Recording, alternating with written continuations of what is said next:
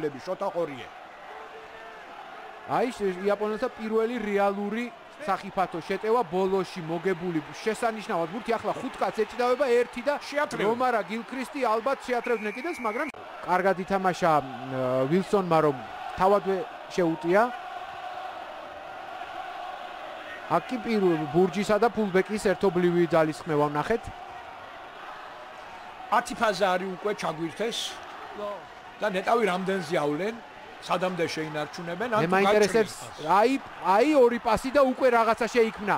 აქ პასი მე მგონი ცოტა ნაადრევი იყო. ჰარდინ გადმოაგდო მაინც. დარჩა სკოტიდან შეიძლება ლელო იყოს ჰოგი ბოლოს. ჰოგს რაღაცა სანტიმეტრები დააკლდა ლელომდე მაგრამ ჯერ კიდევ შანსი რჩება საკმაოდ სერიოზული.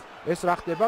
უკუღმა დაეცა ზუსტად აი პირი იქით იქით რო დაცემულიყო ლელო იყო და ბურთი არ ჩანს ცოტა გვიანდება მისი გამოსვლა აქ რა თქმა უნდა იაპონია დაალაგდება მაგრამ პოზიცია იმდენად სახიფათო რომ ჯერ კიდევ დიდი შანსი რჩებათ შოტლანდიელებს და რა ის ლელო. გამოვიდა მოლით აი ესე ძალური სოლოებით უნდა გააკეთო.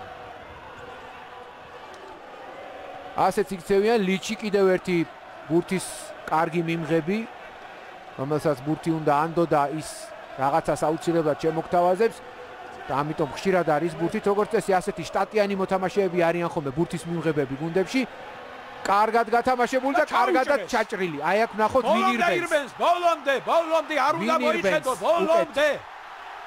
ნუ თუ დაეწევა, ვერა. დაეწევა, ვერა და მესამე ლელო. 29-ით 10 გახდება რამდენიმე. რამდენია სად არიან? 22-ში არიან. ჯონი გრეი იყო, ახლა ჰოგი და ლელო. ორით ერთი ლელოები. ჰოგია დატოვა ბურთი გარეთ. შემეგონი შეეძლოთ იაპონიას თამაში, მაგრამ არა და წავიდა. ლელო, მეხუთე